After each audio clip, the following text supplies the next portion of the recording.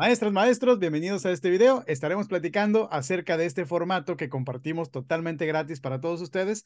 Y bueno, este formato es una propuesta de orden del día para desarrollar las actividades de esta segunda sesión ordinaria de Consejo Técnico Escolar que vamos a desarrollar en este noviembre de 2022. Ojo, como tal, es una propuesta. Aquí les estamos dejando totalmente gratis un enlace para poder descargar este formato en Word y ya una vez que tú lo descargues, ahora sí, ya lo puedes editar. ¿De acuerdo? Voy a dar todo el contexto también porque quizás hay quienes son nuevos en el canal para que se suscriban y van a obtener todos sus materiales gratuitos y también muchísimos videos que les van a ayudar en todas las diferentes sesiones y para dar a grandes rasgos de qué se trata. Ojo, esta propuesta, esta organización está pensada para el nivel primaria, sin embargo, puedes adaptarlo al nivel que de preescolar, secundaria, inicial y lo comento sobre todo por los tiempos, ¿sale? Cada uno de los niveles cuenta con tiempos diferentes y bueno, solamente hay que hacer los ajustes. Si te interesa, descárgalo y haz los ajustes que sean necesarios. Y en esa idea, pues, tenemos que regresarnos a las orientaciones. Miren, las orientaciones nos piden que cumplamos al menos con dos propósitos. Este ya es un avance en comparación de lo, que corresponde a las orientaciones de la primera sesión porque estaban muy abiertas. Ahora aparecen dos propósitos, ¿de acuerdo? Ojo, metodológicamente creo que este de acá abajo, el azul, que es el segundo, debería de ser el primero. Y el verde, que lo ponen como primero, debería de ser el segundo y lo vamos a platicar, ¿sale?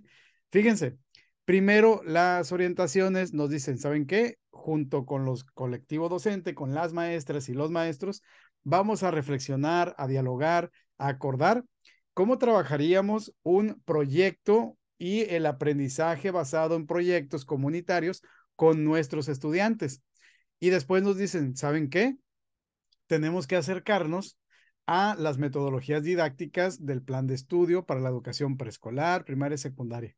Metodológicamente considero que se tendrían que abordar eh, primero eh, el azul y luego el verde. Primero tenemos que conocer cuáles son estas metodologías para después, ahora sí ya, ponernos a reflexionar, sobre todo estar dialogando y tomar acuerdos acerca de cómo se va a aterrizar este primer tipo de proyecto, porque bueno, en total tenemos cuatro. Sobre esa información ya lanzamos un video en el cual estamos platicando acerca de estas eh, sugerencias metodológicas de este documento. Lo hablamos en lo general. Ya también lanzamos un video acerca de los proyectos comunitarios. Y bueno, más adelante estaremos lanzando uno de cada uno, en los tres restantes, para que tengan más información.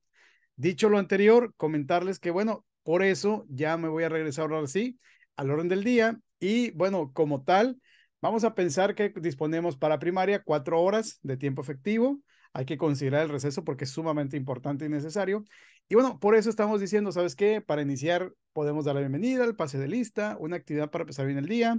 Después, como un tipo de encuadre, una lectura general de las orientaciones, 10 minutos.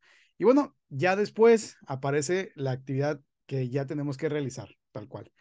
Y bien, como tenemos que conocer primero lo que corresponde a los diferentes eh, tipos de proyectos, estas metodologías, aquí la sugerencia es que nos formemos en cuatro tipos diferentes de equipo para poder, ahora sí, sentarnos, dialogar, reflexionar, leer acerca del contenido de este tema porque bueno, sí se va a llevar tiempo, sobre todo eh, estamos destinados 50 minutos, porque si bien es cierto que la lectura es corta, es breve, aquí lo interesante sería el análisis que podemos lograr como equipo, ¿sale? Como son temas que tienen que ver con metodología ya de didáctica, de trabajo con los estudiantes, van a aparecer muchísimas preguntas, ¿sale? Ese es el cambio que tenemos que vivir y tenemos que dar ese tiempo para poder trabajarlo. ¿De acuerdo? No se preocupen, aquí estamos tratando de abordar esos dos propósitos y también lo que corresponde al 25% para asuntos generales de la escuela. Ahorita se los voy a platicar. ¿Sale? Una vez que, bueno, ya se agotó este tiempo y aquí les sugerimos muchísimo el uso precisamente de los documentos que compartí hace un momento. Y ojo, ¿dónde pueden descargar toda la información? En este archivo en Word aparecen los enlaces. En la descripción de este video también aparece un enlace y en el primer comentario para que puedan dirigirse a una carpeta digital. Esta carpeta digital, aquí está todo el contenido para la segunda sesión ordinaria de Consejo Técnico Escolar. Aquí está todo para que ustedes puedan trabajar. En un clic ya lo dan descargar y lo comento porque de pronto hay muchas dudas. Puedo, si estoy desde una computadora, le doy clic en esta pestaña y le pico descargar. Si estoy del celular, bueno, puedo descargar, puedo enviarlo por WhatsApp, enviar copia al grupo de WhatsApp, a lo mejor que tengo de mi escuela, para hacerlo más eficiente, ¿sale? ¿Por qué lo comento esto? Porque vamos a utilizar un formato que hemos dejado también gratis para todos ustedes. Bueno, el siguiente paso tiene que ver con esta exposición, ¿sale? ¿Cómo sería la exposición? Puede ser a través de diapositivas, puede ser a través de un mural, puede ser a través tal cual de la lectura del documento, puede ser a, pues, una mesa de expertos, ya la exposición va a ser de cada uno de ustedes, ¿sale? Podemos utilizar láminas, podemos utilizar rotafolios, eh, computadoras, hacer a través de, hay, hay algunas páginas de internet que te permite trabajar con tu equipo en tiempo real, también se pueden hacer. Adelante, diapositivas, tal cual. Lo importante es que todos tengamos conocimiento acerca de este contenido, de esta información, de los cuatro proyectos eh, que existen bajo la nueva escuela mexicana, bajo el nuevo plan de estudios 2022 y sobre todo el, análisis que vamos a hacer de ello. Por eso les decimos, ¿sabes qué? Mira, que cada equipo tenga al menos 10 minutos para exponer el contenido. Estamos dejando 50, más o menos como para esta transición, algunas dudas que se puedan presentar.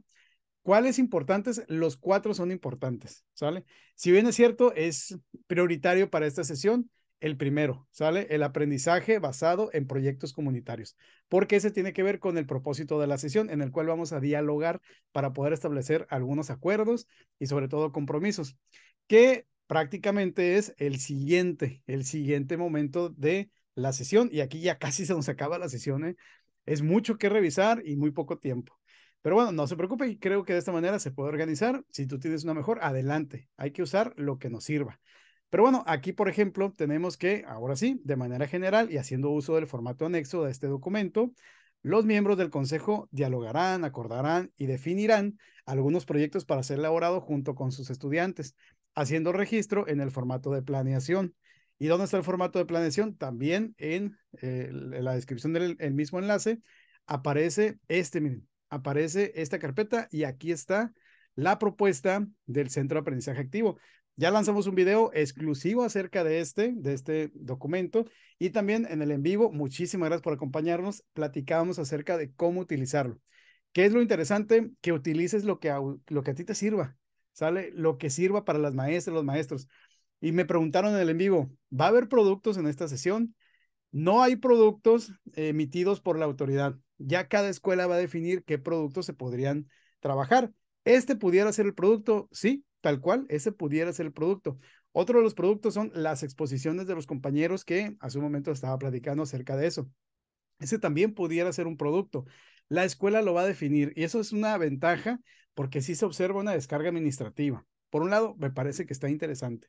En esa idea tenemos este formato en PDF para que lo descargues, pero bueno, este no se puede editar. Si así te sirve, adelante, úsalo.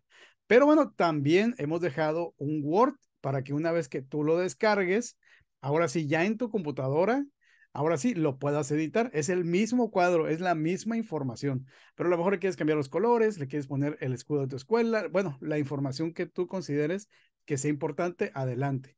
¿Sale? Ese sería el comentario, esa sería la información acerca de este formato. Ojo, también estamos dejando, reitero, este tiempo del 25% para el nivel primaria. Cada quien tendrá que hacer ajustes para, pues, hablar acerca de los asuntos generales que sean de interés para la escuela. Ya cada colectivo lo va a definir. También en este mismo formato en Word, que ya está disponible para ustedes en la carpeta, aparece este formato en blanco, porque a lo mejor hay quienes, pues, les interesa solamente el formato, a lo mejor el contenido no, y aquí está, ¿sale? háganlo eh, como ustedes quieran, edítenlo, bajen cosas, adelante. Lo más importante es de que lleven con éxito este reto, porque es un reto para todos, ¿eh? Están muy abiertas las actividades, las sugerencias, o más bien las orientaciones, por lo que sí es un reto organizar todo esto y sobre todo los tiempos, ¿de acuerdo? Familia SEA, yo espero que les sea de utilidad este material. Déjenme en los comentarios qué te pareció. Ya lo sabes, si no estás suscrito, te invitamos a que lo hagas de esa manera vas a tener todos los videos del Centro de Aprendizaje Activo y te van a llegar de forma automática cuando estés en YouTube, ¿sale?